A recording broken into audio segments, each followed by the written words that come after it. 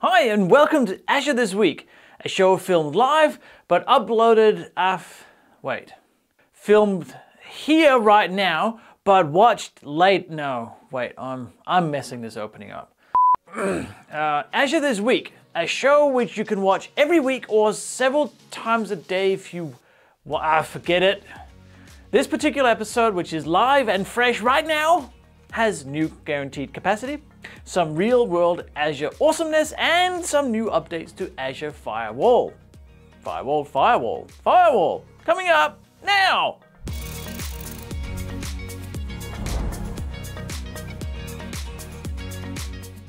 Until now, the only way to obtain a service level agreement, or SLA, for Azure Virtual Machines capacity has been to deploy actual virtual machines, whether running or stopped. This can create all sorts of overhead for using the VMs. For example, if they're in use and you need them for a more critical purpose, or if you don't use them but need to keep them up to date. Hmm. The new on-demand capacity reservations for Azure VMs means you can reserve the capacity without having to create the VMs then and there. It provides a lot more flexibility within the same SLAs that you are used to already. You might be wondering, mm, how is this different to reserved instances, which have been around for years?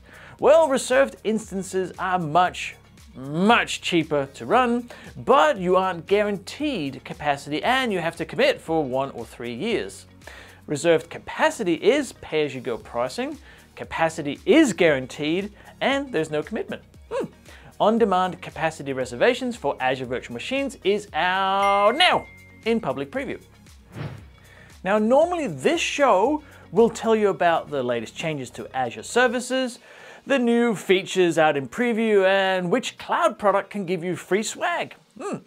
However, for something different, I wanted to show a great example of Azure and cloud computing making things better for the people in my backyard here in Australia. Yeah, well, not exactly my backyard, but you know. The Australian electricity provider Ausgrid have made an agreement with Azure and Infosys to migrate their infrastructure onto Azure. This is not a big deal as such. I mean, lots of companies migrate to Azure all the time, but this is a major utility company. If their system goes down, 4 million Aussies are affected and that could mean disaster for systems and devices that support critical infrastructure. Now the fact that Ausgrid is putting all their infrastructure eggs in the cloud basket is a big tip of the hat to the maturity and reliability of the cloud and Azure. In fact, Ausgrid says this move is in part to make their systems more resilient. Well done, Ausgrid and Azure. Hmm. Ah, the good old firewall. One of the services that have been around the longest, both on the ground and in the cloud. Old doesn't mean obsolete though. This week, more new features and updates were added to Azure Firewall. Now, Azure Firewall supports US West 3, Jio, Jio Jio India West, and Brazil Southeast. Auto-generated self-signed certificates for Azure Firewall Premium SKU for non-production deployments.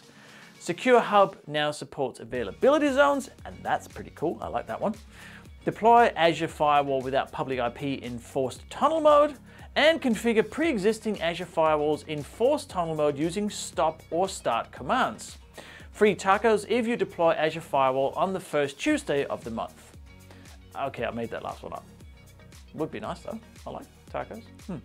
Get all the details about these new features and updates using the link below. Did you know A Cloud Guru offers a free plan? Gives you access to a roasting list of, wait, who wrote this? A rotating list of free courses and quizzes each month, plus all of our regional series and learning plans. Hmm. And you don't even need a credit card to sign up. We've included the link below. It's free. Go! As we say on the A Cloud Guru team, when we struggle to reserve enough capacity to edit this week's episode without getting a huge bill at the end of the month, seek and you shall cloud. See you next week and keep being awesome, Cloud Gurus.